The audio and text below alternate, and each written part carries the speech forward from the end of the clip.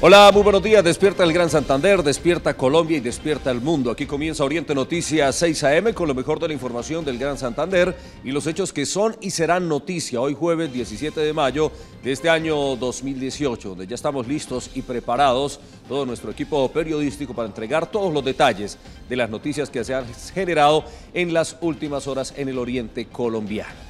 Iniciamos saludando a todos nuestros televidentes que nos siguen a través de la señal abierta del Canal TRO a lo largo y ancho del territorio colombiano, también a todos aquellos que nos siguen a través de nuestra transmisión por Facebook Live y aquellos que nos siguen y nos escuchan todas las mañanas, muy en punto de las 6 de la mañana, a través de www.radioalternaonline.com. Saludamos a nuestra mesa de trabajo en Florida Blanca, John Vesga, con los muy buenos días. John, muy buenos días, María Angélica, a todos nuestros compañeros allí en Norte de Santander, también un cordial saludo y por supuesto a ustedes, los más importantes en esta emisión de Oriente 6 AM.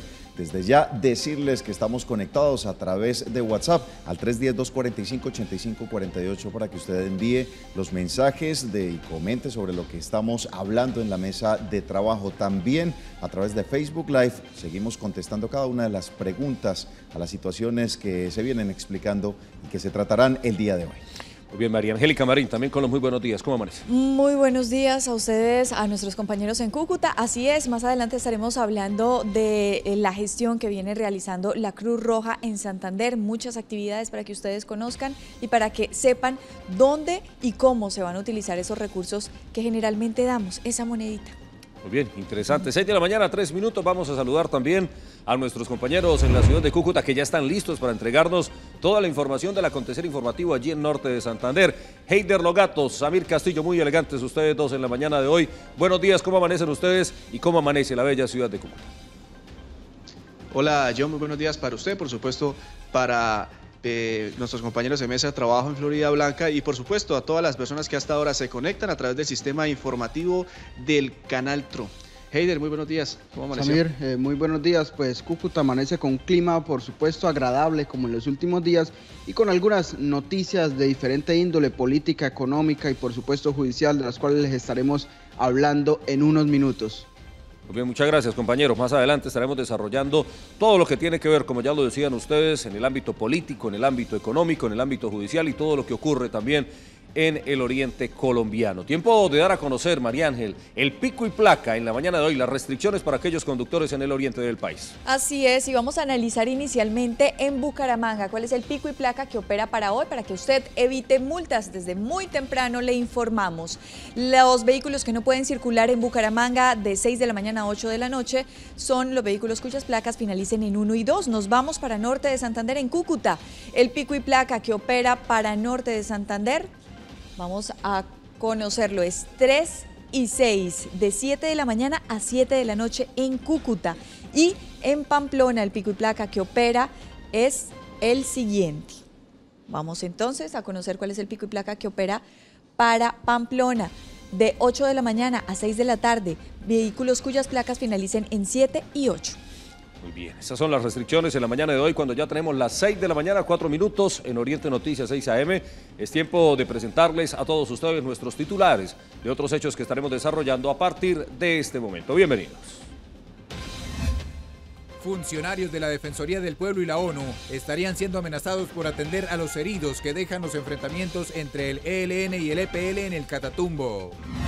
Ante la emergencia registrada en el Cauca por Hidroituango, en Oriente Noticias 6 AM hacemos un análisis sobre los vertederos de hidrosogamoso.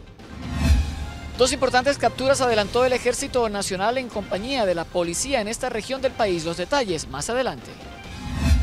San Gil en este momento no cuenta con cámaras de seguridad que maneje la Policía Nacional debido a la falta de un contrato con la alcaldía de este municipio. Espera ampliación de esta información en instantes.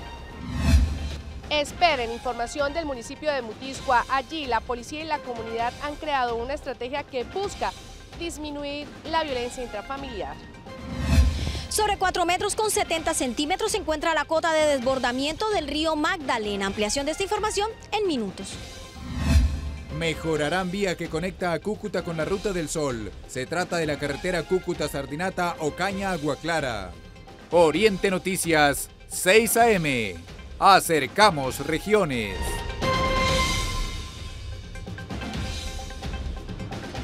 6 de la mañana, 5 minutos. Seguimos con más información. Esta hora en Oriente Noticias. Hay noticia de última hora en el, en el ámbito político. Heider Logato, ¿de qué se trata? Cuéntenos. Claro que sí, John. La noticia política de última hora es que se entregó en el búnker de la Fiscalía General de la Nación en Bogotá en las últimas horas el excongresista, ex senador norte santandereano Carlos Emiro Barriga, quien vemos en este momento en pantalla. Recordemos que él dejó de ser senador en el 2014 cuando no logró los votos necesarios para reelegirse. Lo que eh, dice la Corte Suprema de Justicia es que tiene que rendir indagatoria hoy, en horas de la mañana, en el transcurso de la mañana, por presuntos vínculos con el paramilitarismo, exactamente con el bloque Catatumbo que tenía incidencia aquí en la zona de frontera del norte de Santander. Eh, según nos han contado algunas fuentes, desde la semana pasada se había eh, librado esta orden de captura, pero pues aquí en Cúcuta no se logró ubicar al ex senador y él en las últimas horas, pocas horas antes de la indagatoria que tiene que rendir hoy ante la fiscalía, pues decidió entregarse en las instalaciones del búnker de la fiscalía en Bogotá para pues eh, dar su versión sobre estos hechos, aclarar o no ante la justicia lo que tenga que ver con estos presuntos vínculos con el bloque Catatumbo de las Autodefensas Unidas de Colombia. Entonces, John, esa es la noticia de últimas horas. Estaremos al pendiente de lo que transcurra en el desarrollo de esta mañana, en donde el ex senador eh, norte santanderiano Carlos Barriga deberá rendir indagatoria ante la Fiscalía, ante la Sala de la Corte Suprema de Justicia. Usted lo ha dicho, Heider, estaremos muy atentos de lo que ocurra con estas audiencias para ampliar la información en nuestra misión central de la una de la tarde de Oriente Noticias. Vamos a saludar por el momento a nuestros televidentes que a esta hora se conectan con la señal que tenemos a través de Facebook Live. Saludamos a Isabel Olarte, Amalia Gil Gallego, Juan David Gutiérrez Almeida, Luz Marina Berbesi, Mónica Sánchez y Patricia Cruz. A ellos un saludo muy especial de parte del equipo de trabajo de Oriente Noticias, siempre madrugando para tener bien informado al Gran Santander. Hay dos noticias que ocurrieron también en las últimas horas en el área metropolitana de la ciudad de Bucaramanga. La primera de ellas tiene que ver con el incendio de un bus que presta su servicio aquí precisamente en el área metropolitana. Una vez terminada la ruta habitual, el conductor de este vehículo pues eh, procedía a descansar, dejó parqueado su eh, automotor y minutos después empezó la conflagración. No sabemos a ciencia cierta que pudo haber ocurrido, al parecer alguna falla en la parte eléctrica del automotor habría ocasionado esta conflagración que por fortuna y gracias a la rápida atención de la misma comunidad y los organismos de socorro, en este caso el cuerpo de bomberos, pues eh, se logró eh, apagar el fuego, controlar estas llamas y la situación no pasó mayores. Otra de las situaciones que se presentó en eh, las últimas horas en el área metropolitana de la ciudad de Bucaramanga, pues tiene que ver con eh, el fallecimiento de un motociclista, un infortunado accidente de tránsito que se registró en una de las vías del área metropolitana, al parecer un eh, accidente donde se vieron involucrados un taxista y el motociclista quien infortunadamente perdió la vida. Al parecer, según lo que dicen los testigos del hecho, el motociclista transitaba por esta importante vía sin sus elementos requeridos, como lo son el chaleco, que refleja la presencia del conductor, tampoco al parecer tenía puesto su casco de protección y finalmente fue lo que le habría provocado la muerte, el golpe contra el asfalto eh, que pues lo dejó allí prácticamente tendido y sin vida una vez ocurrió este accidente. Son los hechos que registramos de último momento a esta hora en el área metropolitana de la ciudad de Bucaramanga. Vamos a conocer información judicial a esta hora, Samir Castillo. ¿Cuál es la noticia judicial del momento? ¿Qué ha pasado con el tema del EPL, del ELN, todo lo que se vive allí en la zona del Catatú? Pues John, persiste eh, el orden público en la región del Catatumbo, hay que decir, pero esta vez nos vamos a centrar a los refugios humanitarios, aunque la unidad de víctimas del departamento manifestó que ha disminuido la presencia de las familias campesinas en cerca de un 80% en los refugios, que de 34 solamente funcionan actualmente 9, eh, que fueron creados alrededor de dos meses hacia el norte del departamento, en la región del Catatumbo, pues hay amenazas por parte de la guerrilla del ELN algunos funcionarios, algunos funcionarios administradores municipales de las alcaldías de Acarí, de San Calixto, pero que también involucra al parecer a funcionarios de la Defensoría del Pueblo y de la ONU en uno de los comunicados advierten de que estos eh, funcionarios están asistiendo eh, de manera alimentaria algunos víveres y hasta atención médica a algunos miembros de la guerrilla del EPL, pero también de la guerrilla del EPL, de ese bando también hay amenazas a algunos funcionarios porque lo señalan de que también los están atendiendo, los están asistiendo a algunos miembros del ELN. Así que es unas amenazas de parte y parte que eh, persiste y que mantiene aún la zozobra. Ahora no es solamente para las familias campesinas que están en medio del fuego cruzado, sino también de los funcionarios públicos que están haciendo su labor. La unidad de víctimas ayer estaba evaluando la veracidad de esta información para determinar el nivel de peligrosidad o de amenazas que tienen esos funcionarios, pero por ahora se tomó la decisión, la unidad de víctimas del departamento, de que solo las ayudas las va a gestionar y las va a entregar esta unidad especial de víctimas del norte de Santander a los nueve refugios que actualmente están funcionando. Así que vamos a estar al pendiente de lo que pueda pasar con estas eh, amenazas y que eh, van a, dar a conocer las autoridades sobre la veracidad de estas eh, pues, amenazas que tienen en peligro a las, no solamente a los campesinos de la región del Catatumbo, sino también ahora a los funcionarios públicos. Lamentable esta situación. Ahora se amenazan a los defensores y a los mismos integrantes de la ONU en Colombia, allí en la zona del Catatumbo. Terrible lo que está sucediendo allí en esta zona. Otra de las situaciones que preocupa hoy por hoy, eh, nos vamos a salir un poco del oriente del país, pero es el tema nacional del momento, la alerta que hay por la emergencia que se vive en Hidroituango. Ya son 12 los municipios cercanos al río Cauca los que han sido alertados para evacuar ya varios de ellos eh, han tenido que ser evacuados por parte de las autoridades. Ayer empezaron a conocerse a través de los diferentes medios de comunicación algunas imágenes de lo que ocurrió de la nueva emergencia. Estas imágenes que ustedes están observando eh, ocurrieron precisamente ayer eh, hacia pasado el mediodía, hacia la una de la tarde ocurrió esta nueva emergencia allí en Hidroituango donde las autoridades pues ya han declarado que la situación está fuera de control allí en, este lugar, en, esta región del país. El río Cauca pues ha salido de control. La represa eh, instalada allí pues también presenta varias afectaciones. El cuarto de máquinas por donde se presentó la fuga aún no ha sido controlado. Son mil los empleados de Hidroituango que fueron también evacuados de la zona. De estos hay que tener claridad que varios van a tener que regresar, que son los que operan precisamente en el cuarto de máquinas, a tratar de solventar esta situación para que no haya una tragedia mayor. Esta es la noticia. Que, se genera esta hora en el territorio colombiano y que tiene gran alerta por la tragedia que pueda llegar a ocasionar. La alerta en municipios como Valdivia, el corregimiento Puerto Valdivia, Tarazá, Cáceres, Nechí, Caucasia, también Aguas Arriba, Briseño e Sucre, Majagual, Guaranda, Córdoba, Ayapel, en Córdoba, Ayapel y en Bolívar, Achí y San Jacinto de El Cauca. Esta es la situación, la lamentable situación que se está presentando allí. El río Cauca, pues su cauce ha aumentado debido a la al error, no sabemos, eh, estructural tal vez que se pudo haber presentado allí en la hidroeléctrica Hidroituango. Esto lo que ocurre allí a nivel nacional. Pero ¿qué pasa en el ámbito local? Muchas de las personas están preocupadas porque muy cerca acá tenemos también eh, hidrosogamoso y pues la gente no deja de entrar en pánico. Pues hay que hacer un llamado a la calma, un llamado eh, a la tranquilidad. La situación aquí es completamente diferente. Vamos a hacer eh, un pequeño recorrido por lo que ha ocurrido en los últimos días con hidrosogamoso para que las personas tengan en cuenta también qué es lo que ha pasado.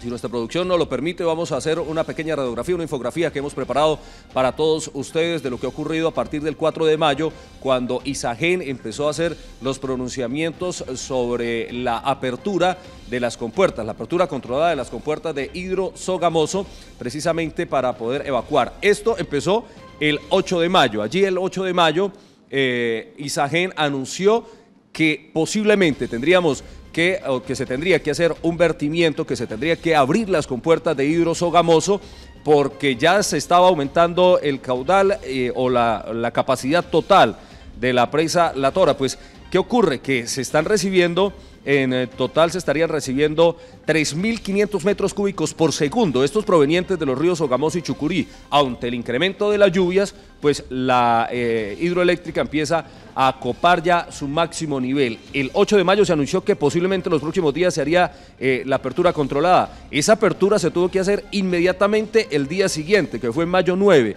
A la una de la tarde del 9 de mayo se hizo la apertura controlada de estas compuertas. El 11 de mayo esta apertura tuvo que aumentar aún más precisamente para empezar a evacuar eh, la capacidad de la represa de Hidrosogamoso.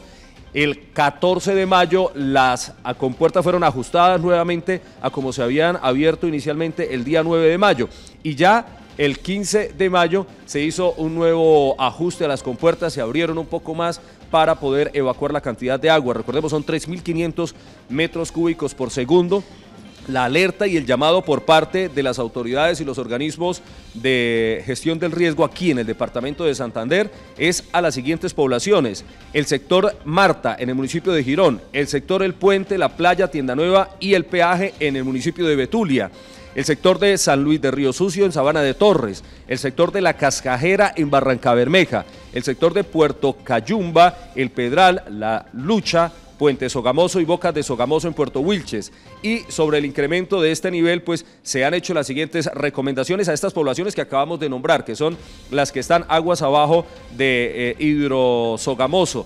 Las indicaciones son las siguientes, abstenerse de acceder a la zona del río entre el Puente La Paz y la Presa La Tora estar muy atentos al incremento en el nivel del río Sogamoso, evacuar las islas que se forman a lo largo del río Sogamoso, no descuidar las pertenencias ni ubicarlas cerca a las orillas del río, cuidar a los niños y evitar que permanezcan solos en los charcos y las riberas de los afluentes hídricos, movilizar el ganado y los emovientes a las partes altas y lejanas del río. Es probable que algunos cultivos sembrados en las planicies y zonas de inundación natural del río se vean anegados por el aumento del nivel. También se recomienda a las comunidades estar atentas a las informaciones de los consejos municipales de gestión del riesgo. Esta es la situación entonces que se vive como para hacer una comparación.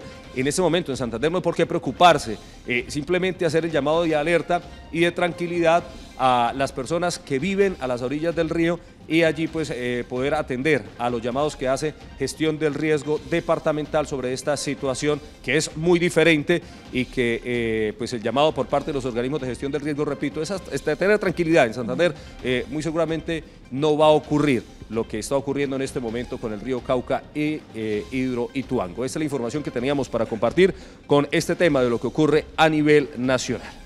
Seguimos con más noticias. Es tiempo de conocer las historias del lente nocturno en Oriente Noticias.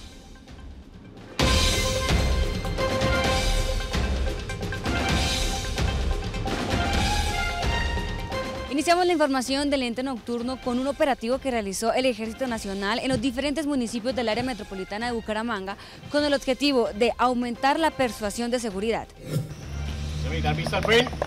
Buenas noches, información personal que salió a la patrulla nocturna, no hay novedad personal ni mayor. Todas las noches, las cuadrillas del Ejército Nacional se suben a sus camionetas y salen a recorrer los puntos críticos de los municipios del área metropolitana de Bucaramanga para salvaguardar la seguridad de los ciudadanos. Realiza operaciones de control territorial para garantizar eh, la seguridad del pueblo santanderiano dentro de la jurisdicción de Bucaramanga, Piedecuesta, Florida Blanca y Girón. Bueno, se realizan todos los días y en la noche pues porque sabemos que en estas horas es cuando más se presentan estos delitos. Los soldados ubican puntos neurálgicos para fortalecer la seguridad. Allí realizan las conocidas popularmente como requisas. Para disminuir el índice de delitos que se cometen con armas blancas y el microtráfico. La operatividad la realizamos con eh, las tropas del batallón de CPC número 5, eh, con nuestra compañía de policía militar, el cual buscamos eh, sacar del mercado todas las armas blancas y parte del microtráfico. El objetivo del operativo es la incautación de las armas blancas y también la disminución del microtráfico. Esta noche el resultado fue la incautación de estupefacientes y armas cortopunzantes. Bueno, en esta noche incautamos 10 armas blancas y 19 pipas para el consumo de estupefacientes. Y un eh, eh, pantalón de camuflado que es uso privativo de las fuerzas militares. No, eh, se hace un proceso con la policía para poderle eh, decomisar ese, esa prenda. Estos operativos se realizan todas las noches en los municipios del área metropolitana de Bucaramanga, en los sectores más vulnerables. Con la cámara Alexander Pavón informó Joana Niño para Oriente Noticias.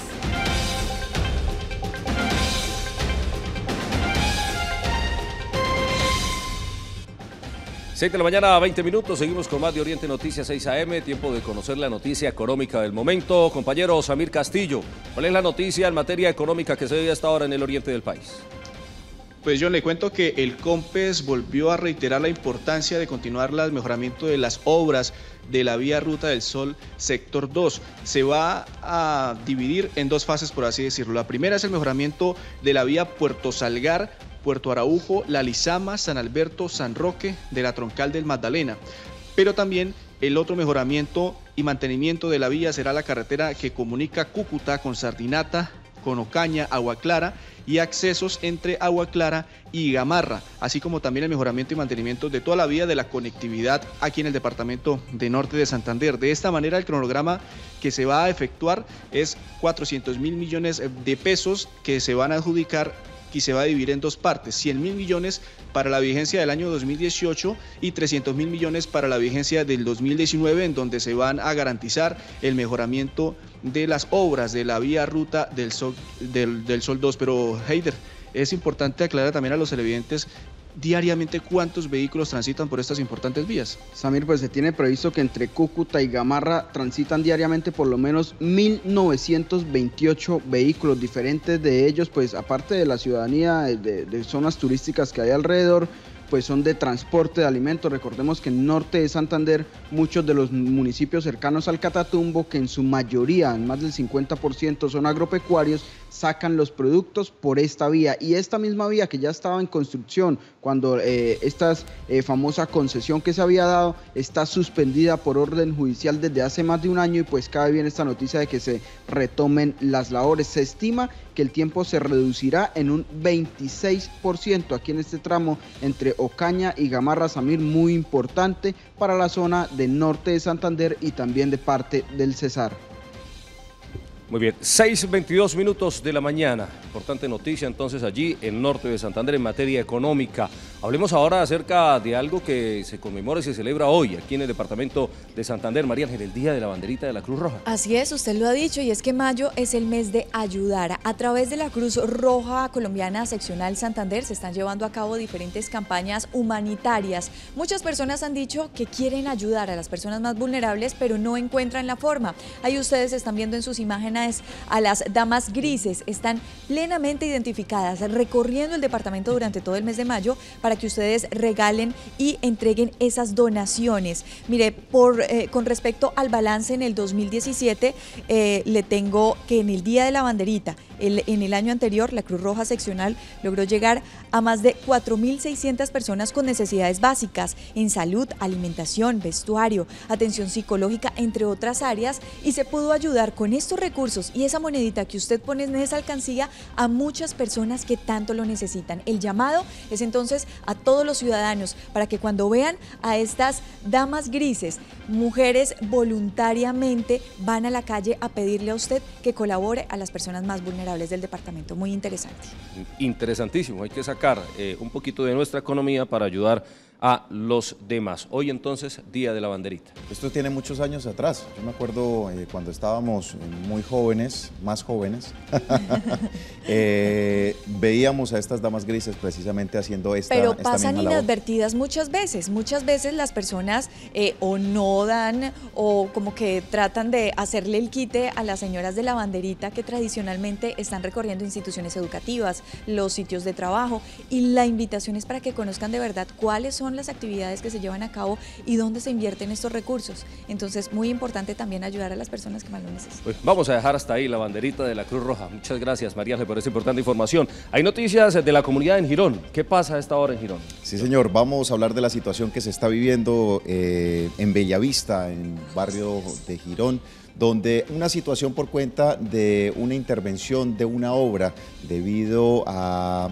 un alcantarillado que se intentó o se está tratando de traspasar que viene desde el sector del barrio Álvarez.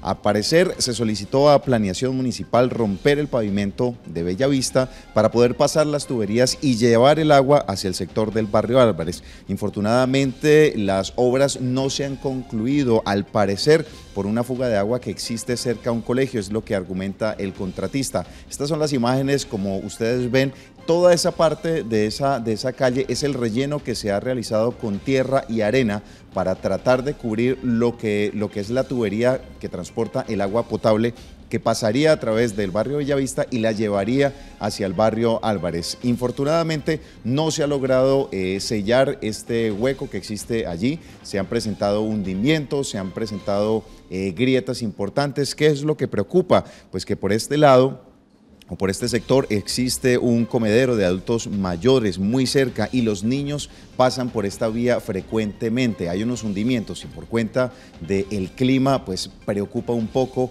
a la comunidad lo que se pueda hacer. Están en esa disputa entre quién tiene la responsabilidad, si la tiene el contratista o quién debe responder frente a la pavimentación de esto. Pues vamos a estar hablando más adelante, posiblemente en la emisión de Oriente Noticias de la una de la tarde, con el presidente de la Junta de Acción Comunal y con el contratista para saber finalmente cómo se va a solucionar esta situación allí en el barrio Bella Vista de Girón.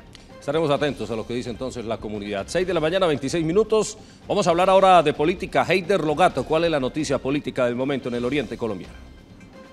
Bueno, John, se conoció que en las últimas horas eh, pues se da el nombramiento del nuevo director del fondo al Fondo de Valorización en Cúcuta. recordemos que este pues es un impuesto nuevo que tienen los cucuteños para realizar megaobras consagradas en el plan de desarrollo de la alcaldía de Cúcuta. El nuevo eh, director es Juan Carlos Uribe, él fue el año pasado secretario de Vivienda y Medio Ambiente del norte de Santander, eh, es el encargado, tiene un nuevo reto que es recaudar este impuesto eh, que le llega a la ciudadanía, que es un cobro por contribución por medio del cual el alcalde de Cúcuta espera hasta este momento hacer tres grandes megaobras. Una de ellas va a ser la reforma de la avenida Gran Colombia en Cúcuta. Otra de ellas va a ser el deprimido en el puente aquí en la terminal de transporte de Cúcuta, en donde colapsa a diario este sector de la movilidad de la capital norte santandereana. Entonces esos serán los nuevos rectos del nuevo director del Fondoa, del Fondo de Valorización de Cúcuta. Esto ha despertado eh, varias polémicas, este fondo de valorización, porque el antiguo director eh, no supo incluso responder ante el Consejo de Cúcuta lo que allí se le formulaba y lo que se le estaba preguntando y pues días posteriores al debate que se dio renunció al cargo. Es un fondo eh, de valorización, un, digamos que es nuevo y la ciudadanía pues no se ha acogido mucho a esto, pero es una herramienta por la cual se van a hacer hasta el momento tres mega obras importantes en la capital norte santandreana. Entonces esperamos que el abogado Juan Carlos Uribe pues eh, haga un gran papel aquí, logre consolidar ese proyecto para que Cúcuta tenga más mega obras y pueda consolidar proyectos viales aquí en la capital norte santandreana. Muy bien. 6 de la mañana, 28 minutos, tiempo de poner sobre nuestras mesas de trabajo el tema del día. El próximo domingo 20 de mayo se realizarán las elecciones presidenciales en Venezuela. Hay mucho por decir al respecto ya empiezan a consolidarse en algún tipo de protesta. Bucaramanga incluso será una de las 100 ciudades en el mundo donde se protestará por eh, las elecciones en Venezuela, donde se le pedirá a la comunidad internacional no reconocer estas elecciones presidenciales que se realizarán allí en el vecino país de Venezuela el próximo 20 de mayo. Eh, pues se ha dicho que no se quiere la dictadura de Nicolás Maduro, pero pues esta es una situación que muy seguramente va a ser difícil de contrarrestar en las urnas. Son 10 veces las que aparece el presidente hoy, Nicolás Maduro, en el tarjetón. 10 veces, mire, ahí está ustedes, están viendo el tarjetón. Ese tarjetón es el que va a elegir y esas imágenes corresponden a el, eh, ¿cómo se llama?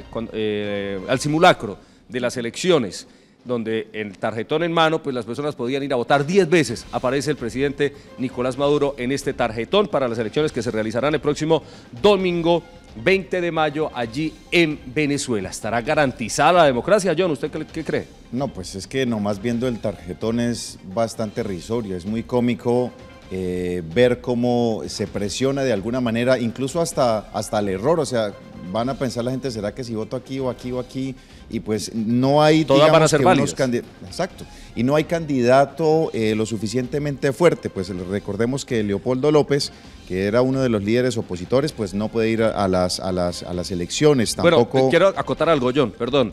En el tarjetón solo se ven siete veces Nicolás Maduro, pero es porque el otro papel que tienen al frente está tapando, está tapando las, las otras tres casillas donde sigue apareciendo. No, sí, exacto. Ahí se evidenció solamente esas, ahí faltan las otras eh, tres de los otros tres personajes que están tratando de lograr cambiar, digamos, que lo que será un resultado casi que previsivo de las elecciones este domingo. De ahí el reclamo o las protestas que se harán en los diferentes países de Latinoamérica para rechazar lo que serán estas elecciones. Le comentaba, pues no hay una oposición bastante fuerte con los candidatos, no va a estar Leopoldo López, eh, quien era uno de los que, de los que eh, podría estar, esto por cuenta del arresto domiciliario, ni tampoco estará eh, Capriles, que también en su momento era el que le podía haber hecho una contraparte al presidente Maduro. Luego estas elecciones de este domingo democráticas yo creo que no van a ser y pues ya termina prácticamente siendo lo que,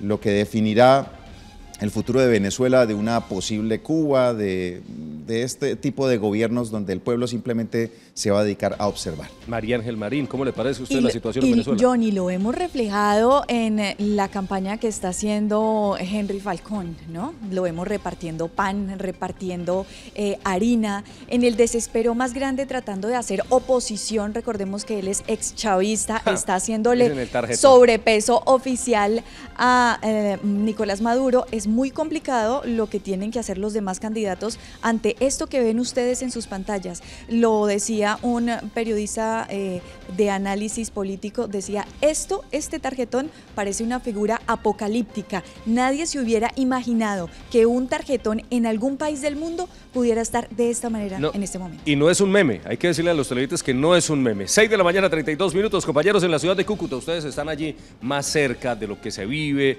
de la difícil situación en la zona de frontera. Y bueno, ¿cómo se vive el ambiente allí eh, de tensión con respecto a los pocos días que quedan ya para las elecciones en el vecino país? Pues movimiento, John, se vive en el puente internacional Francisco de Paula Santander que divide a Cúcuta con Ureña, Estado Táchira, pero también a la parada con San Antonio del Táchira, que es el puente Simón Bolívar. Ya decenas y miles tal vez de venezolanos eh, han cruzado la frontera hacia territorio eh, colombiano. Heider, por eh, la zozobra lo que pueda pasar este domingo en las elecciones venezolanas. Da sorpresa lo que ustedes están mostrando ahí la imagen del tarjetón. Diez veces aparece Maduro, cuatro veces aparece Henry Falcón, que es uno de los contendientes, digámoslo así, más fuertes para, para ir a, a las urnas este 20 de mayo en Venezuela. Recordemos que él fue chavista, en el año 2010 se apartó de, Chávez, empezó a la oposición, fue también jefe de campaña cuando Capriles se lanzó a la presidencia, así que tiene el apoyo de, Enrique Capriles eh, en, este, en esta contienda. Raúl, eh, Samir, perdón, se les nota miedo a los venezolanos que están llegando a Cúcuta a provisionarse de mercados, de víveres, de medicinas y de todo tipo de productos para poder regresar a su país porque dicen que esto se va a poner peor luego de que Maduro nuevamente, porque indiscutiblemente y casi nadie tiene duda a que nuevamente será presidente de Venezuela, porque según lo que eh, han afirmado en los diferentes gobiernos, pues el CNE, que es el Consejo Nacional Electoral de Venezuela, lo manejan desde pues eh, la presidencia de la República. Entonces pasan con miedo más de 50 mil personas que a diario cruzan esta frontera y se ven afectados por las decisiones que a diario toma el gobierno de Nicolás Maduro y que seguramente será nuevamente el presidente de Venezuela. ¿Sabe cuál es el problema, Heider y compañeros? Es que hay abstencionismo. Miles, yo creo que me atrevo a decir millones de venezolanos no van a salir de sus casas a votar porque no le creen ya a este sistema de votación. Y les da miedo, mí recordemos que en las últimas elecciones hace poco, aquí nada más al lado de Cúcuta, en San Antonio, se registraron varios heridos con impactos de bala porque salían a votar por la oposición salían a ejercer ese derecho al voto y eran impactados por los mismos eh, militares venezolanos o por los famosos colectivos chavistas quienes no permitían que se ejerciera ese derecho en diferentes sitios. Estamos hablando apenas a media hora de Cúcuta. Bueno, pues esa es la situación. Muy seguramente con el pasar de los días ya nos estamos acercando a la fecha. Eh, se va a seguir eh, sintiendo más el movimiento de los venezolanos allí en la zona de frontera y pues nosotros conociendo sobre más protestas. Así las cosas a las 9 de la mañana. Está programada la protesta en Bucaramanga como una de las 100 ciudades en el mundo donde se va a realizar plantones y protestas. Se va a realizar a las 9 de la mañana en el barrio San Alonso. 6 de la mañana, 35 minutos, tiempo de que nuestros compañeros en Cúcuta nos inviten a nuestro recorrido habitual allí por las calles y por los barrios con eh, nuestro compañero Raúl Garzón. ¿A dónde nos van a invitar? ¿En dónde está Raúl en la mañana de hoy? Así es, John, ya está listo nuestro compañero Raúl Garzón en el barrio Lleras, muy cerca de acá de la capital del norte de Santander, cerca del complejo acuático y del Estadio General Santander, porque allí la comunidad está denunciando un problema de inseguridad y también de insalubridad. Pero que sea Raúl Garzón quien nos amplíe la información. Raúl, muy buenos días. ¿Y cuál es el panorama que se vive hasta ahora en el barrio Lleras? Adelante.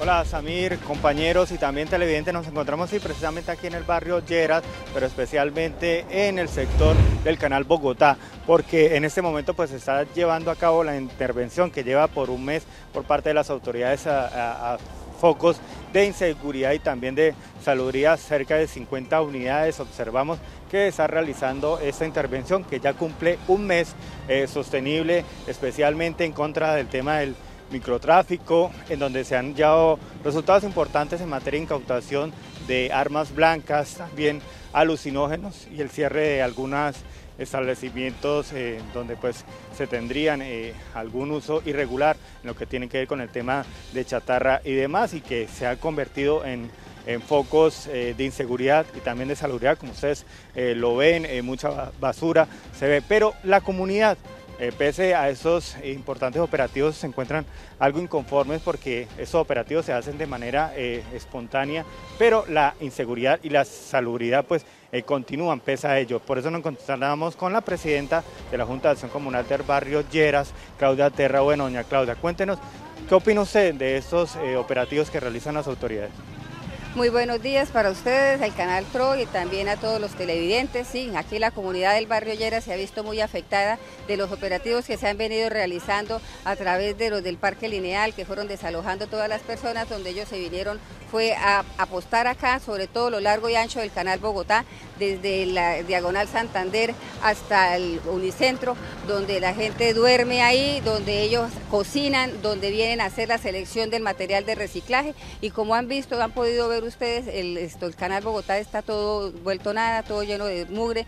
Igualmente es un trabajo que se tiene que articular. Aquí aprovecho la oportunidad para agradecerle a la policía porque ellos hacen todo lo que han tenido que hacer, pero aquí es un trabajo que se tiene que articular la comunidad y todas las instituciones, Corponor, que venir a recoger todos los árboles que se han caído, las ramas grandes que están cayendo acá, todo, y la misma comunidad, la sociedad tiene que ser más esto consciente y debemos cuidar más esto, el manejo de las basuras, porque todo lo cuando llueve, cuando se inunda el, canal Bogotá, cuando ya baja el agua, queda todo el mugre que viene desde la parte alta de la ciudad. Entonces acá sí, y pedirle de una vez al señor alcalde que tenemos una fundación acá frente al Coliseo Toto Hernández donde reparten almuerzos.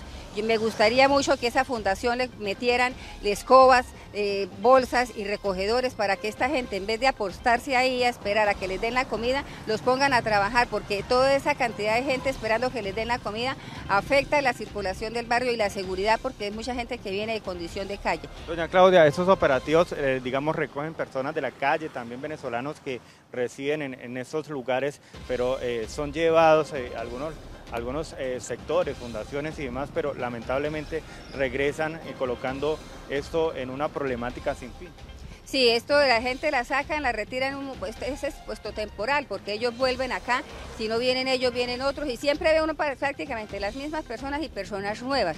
Igualmente, esto, frente al centro de migración, ahí en el barrio Pescadero, también las familias se, apostan ahí, se duermen. Esto es un baño público, la ciudad se convirtió en una letrina y esto es impresionante porque por donde uno pasa ve excrementos, eh, orines, porque la gente hace sus necesidades en cualquier parte, acá no hay baños públicos. Entonces, eso es un llamado de verdad a las autoridades para que hagan un trabajo conjunto, porque aquí no solamente es la policía, tiene que venir la alcaldía, tiene que venir Corponor, tiene que venir Secretaría de Salud, empezar a trabajar sobre esta tema, problemática tan grande que nos está viendo acá la comunidad del barrio Lleras, La Merced, Colpe, Pescadero y todo a lo largo y ancho del canal Bogotá.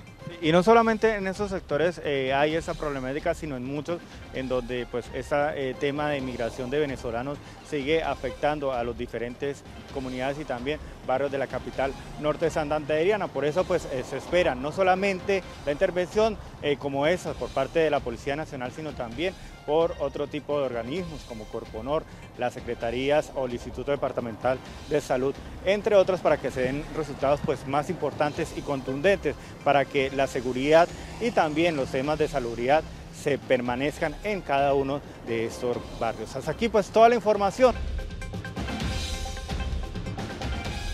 Bueno, y a esta hora de la mañana nos iniciamos ya nuestra ronda de corresponsales, el recorrido por provincias del norte de Santander y de Santander. Nos vamos para la provincia de Ocaña. Allí nuestro periodista Raúl Rolando Castro nos cuenta sobre unas importantes capturas que se dieron al parecer por de guerrilleros del EPL. Raúl Rolando, muy buenos días y adelante con toda la información.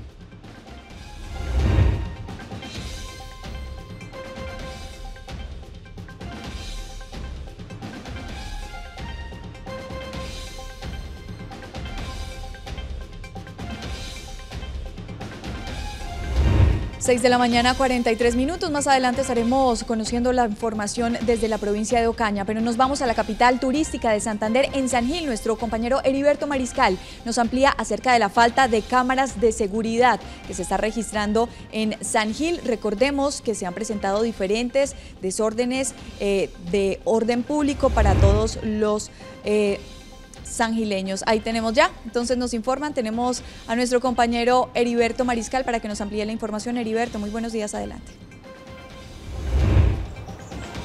Así es compañeros y televidentes de Oriente Noticias 6 AM, muy buenos días. Pues son más de 10 cámaras con las que cuenta la ciudad de San Gil para la vigilancia y con ello el apoyo a la seguridad por parte de la policía. Sin embargo, desde hace aproximadamente cuatro meses estas cámaras no funcionan. El comandante de la estación de policía con sede en San Gil dio a conocer a la opinión pública que desde hace aproximadamente cuatro meses la capital turística de Santander no cuenta con la vigilancia apropiada para garantizar la seguridad y contrarrestar los hechos delincuenciales. Esto debido al no funcionamiento de las 13 cámaras de seguridad adquiridas por la administración municipal en años anteriores. De momento aquí en el municipio de San Gil no se cuenta, no se cuenta con eh, servicio de cámaras. Aquí hay eh, un total de 13 cámaras, las cuales se encuentran fuera de funcionamiento, eh, ya por un tema de contratación, tema de ley de garantías, no se pudo realizar la contratación y de momento eh, tenemos estas falencias. La comunidad se pregunta, ¿dónde está el cuidado que la alcaldía debe tener con estos equipos que fueron adquiridos con recursos de los angileños? Ya que aparte de no estar siendo monitoreadas, se suma que las cámaras no sirven debido a la falta de mantenimiento preventivo. ¿Se puede decir que esto ha influenciado en el aumento de las acciones delincuenciales en la capital turística de Santander? Gracias al sector comercio, a las agremiaciones del municipio y a las juntas de acción comunal nos hemos apoyado con las cámaras que se encuentran eh, bueno, eh, ubicadas eh, estratégicamente y de forma pues de civil, por decirlo así. La comunidad hace el llamado a la alcaldía municipal para que haga el contrato y se realice el mantenimiento de estas cámaras, ya que en este momento el municipio de San Gil no cuenta con el apoyo de esta tecnología para evitar los hechos delincuenciales. Esta es toda la información por el momento desde el municipio de San Gil. Continúen compañeros con más información en Oriente Noticias 6 AM. Muchas gracias, Heriberto, y seguiremos hablando de temas de seguridad porque en la provincia de Ocaña fueron capturados presuntos guerrilleros del EPM, del EPL, perdón. A esta hora retomamos nuevamente contacto con nuestro compañero Raúl Rolando Castro, quien nos va a ampliar esta información. Raúl Rolando, muy buenos días y adelante con todos los detalles.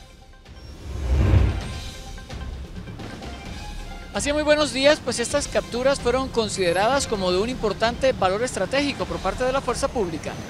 Según las autoridades, los sujetos capturados harían parte de la estructura logística y financiera dedicados a recolectar el dinero producto de extorsiones a los comerciantes, consecución de armas y reclutamiento forzado, actos cometidos en los corregimientos y veredas de los municipios de Ocaña, Convención y Teorama.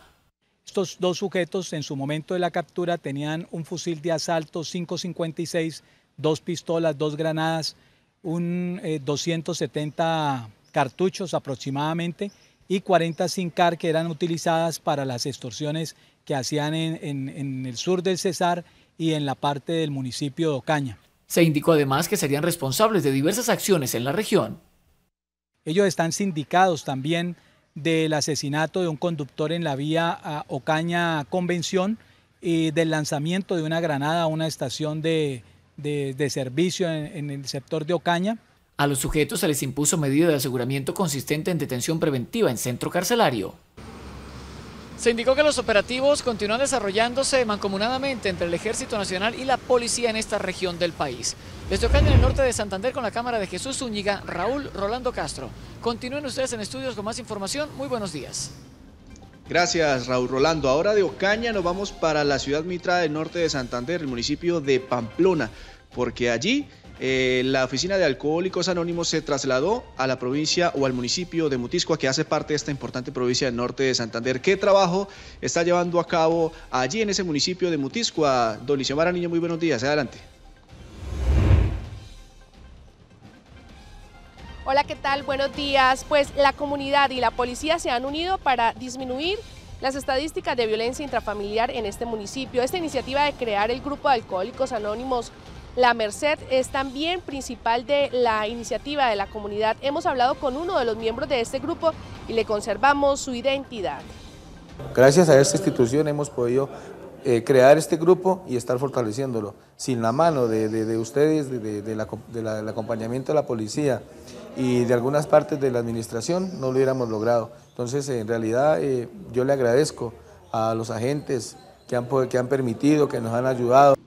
Para el comandante de la Policía del Departamento Norte de Santander, esta es una forma también de disminuir los delitos y está comprobado que las riñas y la violencia entre las familias es producto en muchas oportunidades por el consumo excesivo de alcohol. Lo que queremos es eh, principalmente que ellos se sientan obviamente acompañados y eh, que podamos brindarle eh, una mejor sensación de seguridad a la población de Mutisco. Con esta información nos despedimos para darle paso a ustedes en el centro de noticias. Les deseo un feliz día. Toli, muchas gracias por toda la información allí desde el municipio de Pamplona. Vamos a Barranca Bermeja, donde un poco de preocupación existe por parte de la comunidad de esto por la creciente que se ha presentado en el río Magdalena. ¿Hay o no preocupación? Alejandra Rincón, muy buenos días. Usted tiene toda la información.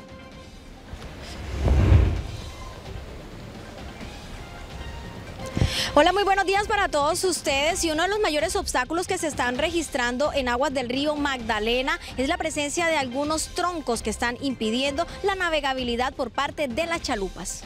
El río Magdalena aumenta su caudal y se encuentra en 20 centímetros por encima de la cota de desbordamiento. Está muy crecido y, y estamos, estamos atentos de que se puede, se puede inundar esto aquí. No sé qué, qué, qué irá a pasar porque está muy maluco, está bajito el río. La navegabilidad se ve interrumpida con la presencia de algunos trozos de madera. Aquí para abajo es donde está el, el río en parte desbordado. En Cantagallo está, está, filtrando el agua, en Puerto Wilche también está filtrando el agua. Hay que pararle bola porque no tumba esa vaina. Mientras tanto, para los pescadores, la creciente los beneficia. Pescado, pues ahorita el pescado está desobando y ya hay pescadito. Eso es lo único bueno. Pero también sale lo que es el pescado enhuevado y también pues afecta mucho porque Saben que una pescada son millones de pescados que tiene y lo cogen así. La alerta roja fue declarada en Barranca Bermeja y los organismos de socorro se preparan para atender las emergencias. Ya tienen preparado un plan de contingencia por parte de las autoridades del municipio para aquellos barrios que se encuentran en cercanías al río Magdalena y que ya están registrando inundaciones. Esta información que se registra desde el puerto petrolero. Continúen ustedes con más información. Muy buenos días.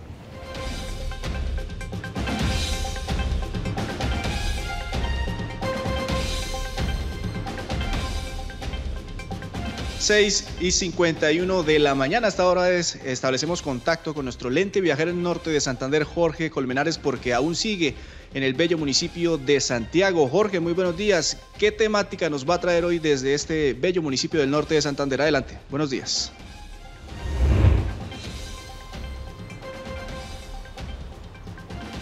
Gracias, muy buenos días, amable teleaudiencia. Pues en el municipio de Santiago están muy agradecidos con las inversiones que se han realizado, especialmente en el sector salud.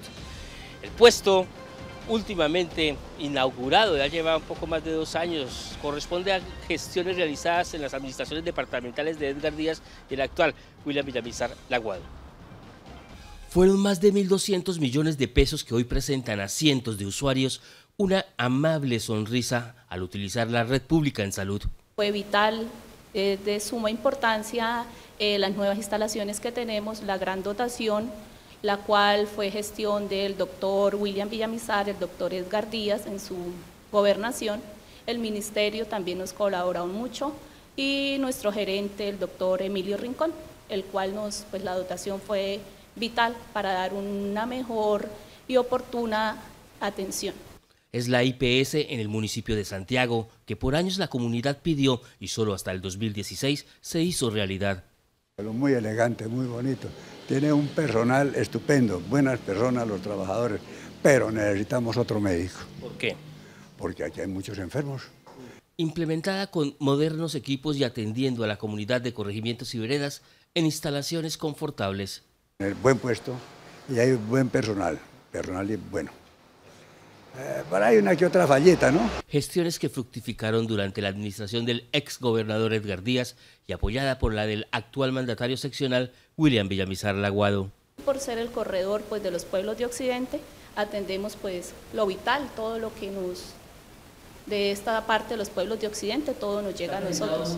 El sector público de salud ha recibido como nunca en los últimos seis años la mayor inversión en equipos y logística. Son más de una veintena de corregimientos y veredas pertenecientes a la jurisdicción del municipio de Santiago que está su comunidad muy agradecida por este nuevo puesto de salud. Volvemos a estudio, muy buenos días. Muy buenos días, Jorge. Muchas gracias por este lente viajero y el recorrido que hace allí por los municipios del norte de Santander. Y ahora es tiempo de contactarnos con nuestro compañero Carlos Cárdenas, quien se encuentra en el Parque García Rovira de la ciudad de Bucaramanga. Él está allí con las personas que protestan por parte de la empresa Ferticol buscando alguna situación a eh, el difícil momento que atraviesan. Carlos, muy buenos días. Adelante. ¿Qué tal compañeros en estudio para todos los televidentes de Oriente 6 AM? Muy buenos días, pues sí, 10 días cumple aquí el sindicato de trabajadores de Ferticol en un plantón que lideran para exigir algunos derechos. Nos encontramos precisamente con el señor Flavio Mallorca, él es el presidente de Sintra Inquigá. Señor Flavio, bienvenido pues, a esta transmisión. 10 eh, días llevan aquí, ¿cómo ha sido esa logística? ¿Cómo ha sido pues, esa incomodidad que han tenido que vivir para eh, exigir sus derechos? Bueno, lo que podemos dar parte es ese gesto solidario por parte de las organizaciones sindicales, populares y sociales de Bucaramanga. De verdad que veníamos como un poco pensando la situación de la estadía acá, pero no, afortunadamente el gesto solidario de las organizaciones hermanas ha sido unánime. ¿Han tenido que solicitar eh, ayudas, donaciones en plazas de mercado para poder subsistir eh, en materia alimentaria? En este tipo de acciones, de hecho, hay, que recurrir a ese medio, o sea, la supervivencia hay que buscarla, hay que, eh, hay que pedir los alimentos, pero afortunadamente, como le digo, ha sido un apoyo unánime y sí hemos tenido que salir a pedir, porque obvio, eh, somos 80 trabajadores alrededor, entonces necesitamos los alimentos y sí hemos recurrido a ese medio. Eh, dentro de 15 días aproximadamente vienen las elecciones presidenciales. Muy seguramente van a tener que desalojar. ¿Están dispuestos a hacerlo? Pues nosotros estamos dispuestos a todo, a todo, todo, es todo en el sentido de que la gobernación como máxima accionista de la empresa cumpla, le cumple el pago del salario de los trabajadores, o por lo menos que dé una solución, ya por lo menos en la Junta Nacional de Acreedores, Conocimos de que el inversionista a la cual se le asignó el proyecto energético en Ferticol va a llegar mañana, viernes 18. Ahora el problema es una voluntad política que el señor gobernador, hombre, eh, no solucione el problema de los salarios, pero que nos diga algo y que nos atienda, porque está una reunión programada para mañana a las 3 de la tarde. Suponemos que de ahí esa reunión tiene que salir algo con respecto al pago de los trabajadores. Finalmente, son 22 quincenas que les adeuda. Sí, son 22 eh, quincenas, 11 meses de salario. Pero bueno, ahí estamos y, como la idea de estos trabajadores y trabajadoras es que si hemos aguantado tanto tiempo, seguimos esperando, pero lo que realmente queremos es la reactivación de nuestra empresa. Esta es la información desde el Parque García Rovira. 10 días cumple los empleados de Sferticol en una protesta exigiendo pagos salariales. Hola, ¿cómo están? Feliz día. Aquí estamos con toda la información deportiva para contarles que Atlético Bucaramanga ha confirmado inicialmente la salida de dos jugadores, Martín González y Franco Faustino Arizala. Empezó el conjunto Leopardo a conformar lo que va a ser la nómina para el segundo semestre, teniendo en cuenta el fracaso en la primera parte del torneo. La incertidumbre sigue rondando en cuanto a la continuidad del profesor Adolfo León Holguín. Si va a continuar siendo técnico o si va a quedar como manager, se rumora que podría ser asistente, pero realmente hay muy poca claridad en torno al técnico santanderiano. Igualmente se confirmó que Brian Rovira podría continuar tras el visto bueno de Atlético Nacional y que Víctor Castillo, el volante de marca, renovó su contrato con el equipo Leopardo hasta diciembre. También se ha conocido que, por ejemplo, Sherman Cárdenas tiene ofertas del fútbol brasileño y del fútbol mexicano, pero que su intención es continuar con el conjunto de la ciudad bonita. Se espera que en las próximas horas pueda haber un poco más de claridad en torno a esta conformación del Bucaramanga para el segundo semestre.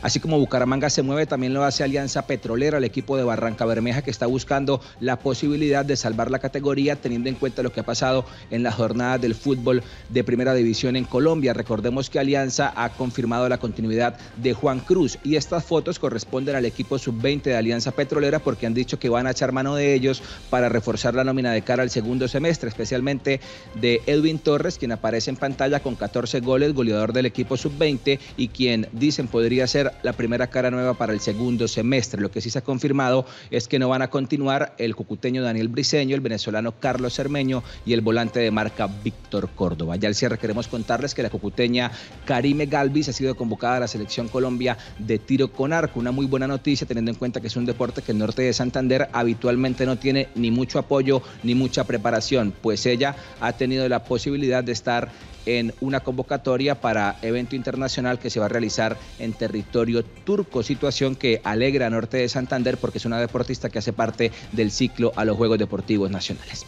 Esa pues información deportiva, compañeros, para todos ustedes a esta hora de la mañana en Oriente Noticias. Nosotros terminamos la emisión por el día de hoy, los dejamos con el café de la mañana y nos encontramos mañana en punto de las 6 de la mañana, compañeros. canaltro.com